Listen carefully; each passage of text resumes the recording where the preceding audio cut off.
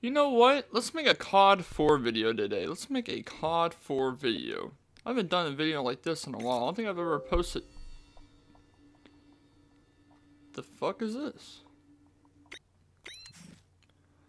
Current profile is not allowed to play on Xbox Live? What? What do you mean? Xbox Live. What the fuck?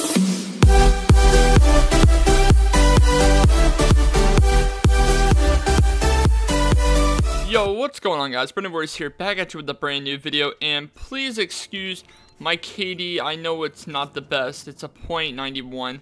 I just started, you know, I'm gonna have a kind of trashy KD. I haven't played this in a while, and I'm playing on my second account too.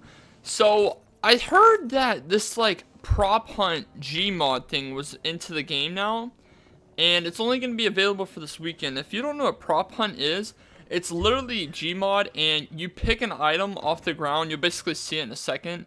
You literally choose to be an item if you're a hider, and you basically just hide from the people. If, I think this is what it's going to be like. But anyways, yeah, so the reason why you clicked on the video was because the Summerville Light. Now, if you don't know what the Summerville Light is, it's actually an old ghost tale in South Carolina. So, anyways, this place used to be a railroad track about 200 years ago. And the story goes that there's this man who worked on a railroad track, right? And every night his wife would come with a lantern and would bring him food. Okay?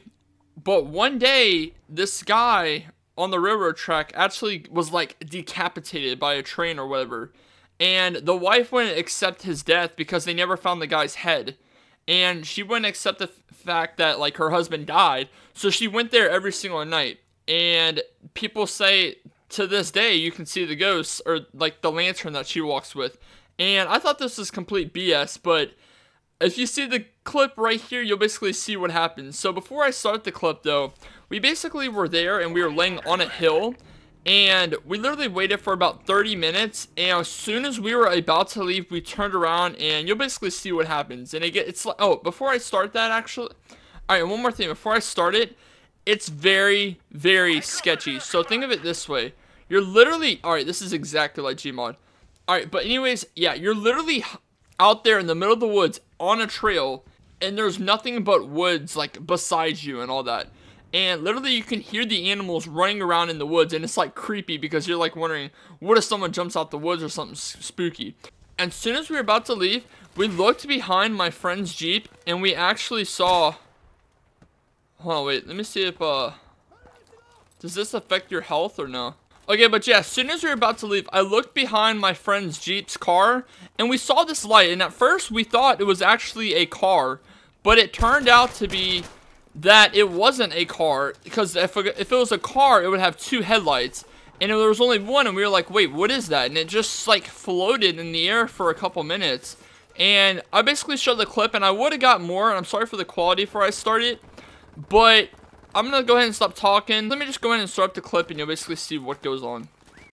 See, there's only one light. There's not two. It's not a car. Look. I read that the light was like greenish thing. Okay, but that, dude, it's just one light. There's not two. Dude, that's creepy. They said it was a good distance of far away from. That's just one light.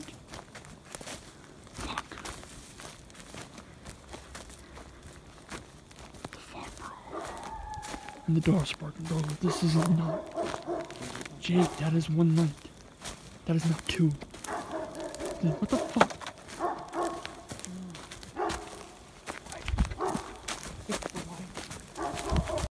So yeah, as you can see, this is like really, really spooky as crap, and I don't know if it's true or not, like the ghost tale, but right now, this definitely has me convinced. So anyways, Thank you guys so much for watching. Please be sure to like the video if you do enjoy and to subscribe to the channel if you are new. And sorry, I can't really post that much. Sorry, I just thought I'd post this ghost tale. I thought it was a pretty interesting video. But anyways, guys, thank you so much for watching. And YouTube, I'll see you guys in the next one. Peace.